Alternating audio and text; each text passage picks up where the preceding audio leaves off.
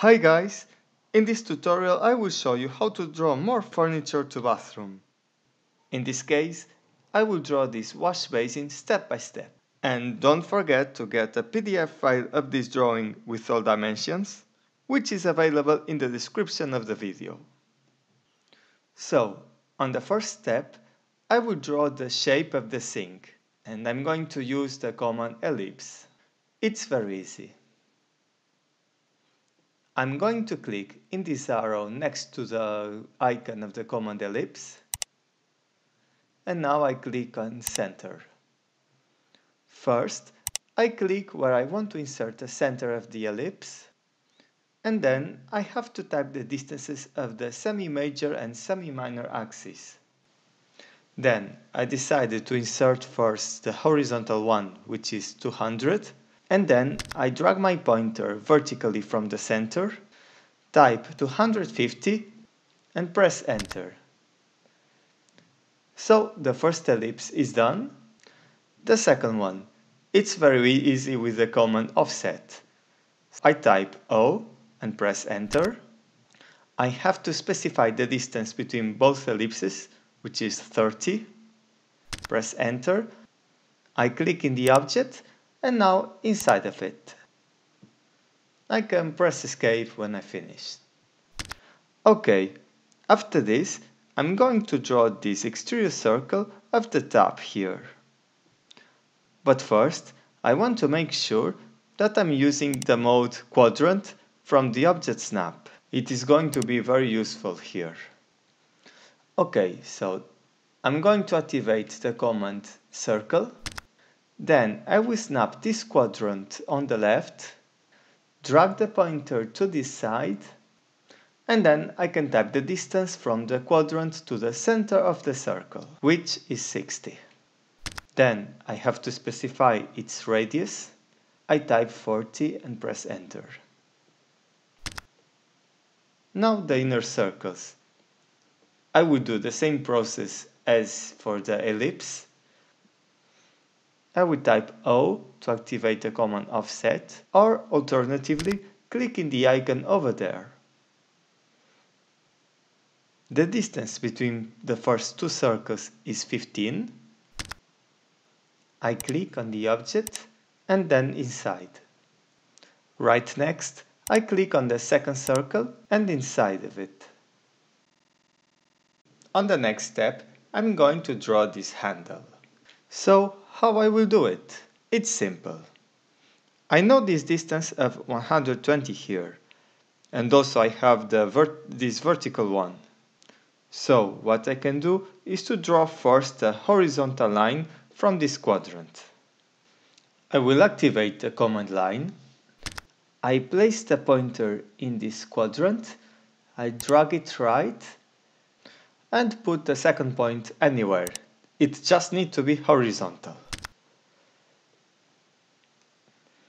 Then I can offset the line to a distance of 15 above of it. Click on the line and place it. Then pay attention of this process. I'm going to select the line.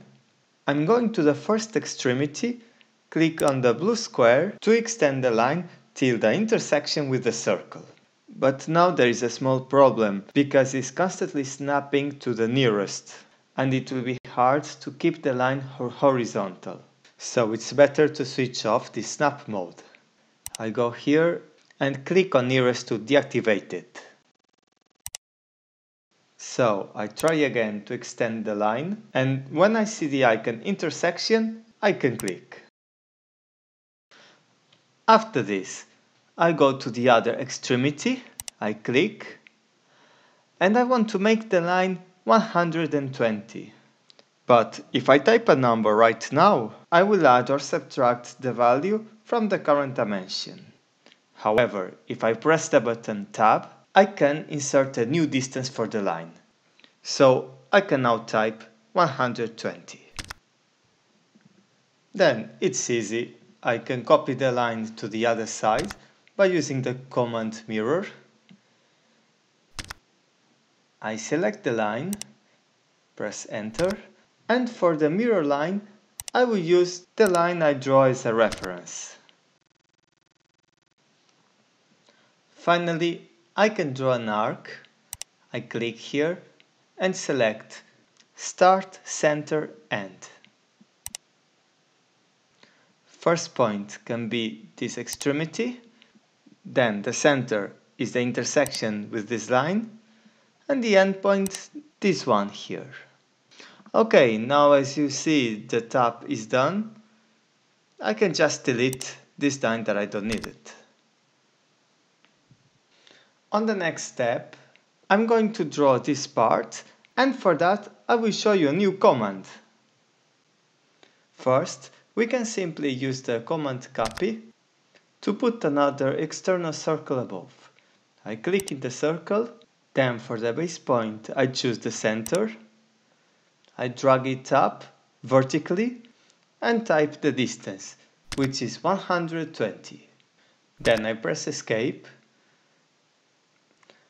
and I can offset the object I just created, but this time the first internal circle will be at a distance of 10. I click there and I place it here.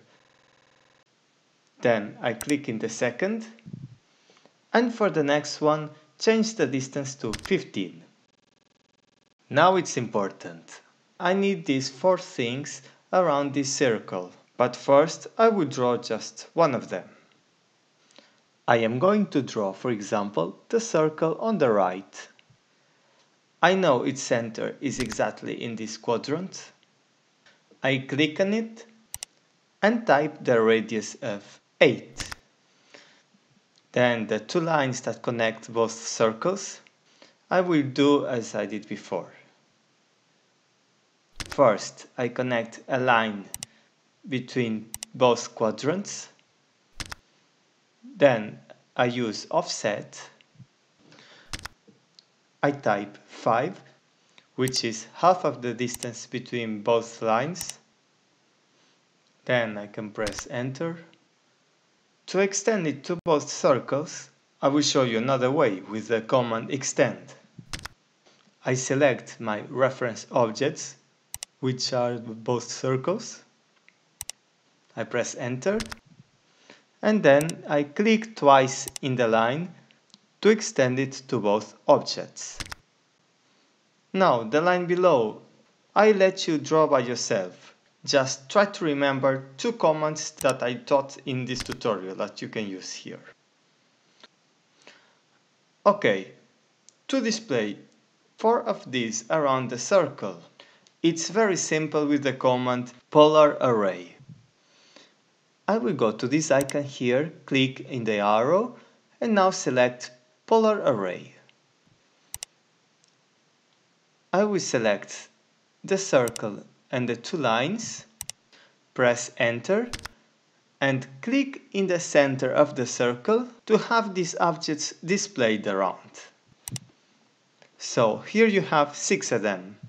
Instead, I only want four. So I go here to this space and I can change the number of items to 4. Perfect. I press enter and I will use the command trim, select everything, press enter and click to trim the parts inside the circles.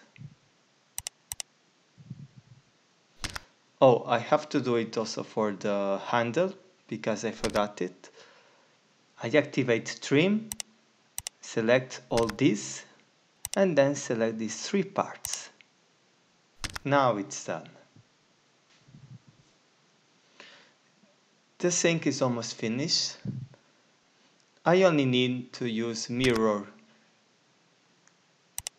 to these objects and make a horizontal reference line from the center of the circle. Now, the last part of this video, I will draw just this rectangle here. The second sink, try to do it by yourself with only one step. And if you still don't get it, you can ask in the comment section. So, for the rectangle, I will draw first an auxiliary line. From this quadrant here, and the distance will be the spacement between the sink and the edge of the rectangle. Then I press escape and I will copy this line to the other side.